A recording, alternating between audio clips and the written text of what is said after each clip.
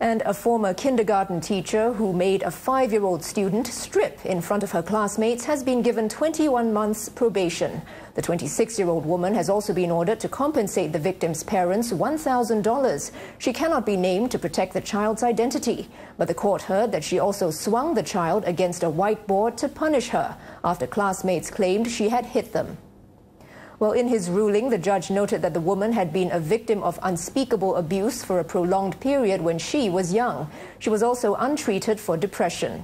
He also said she was remorseful and that the child's injuries were not serious.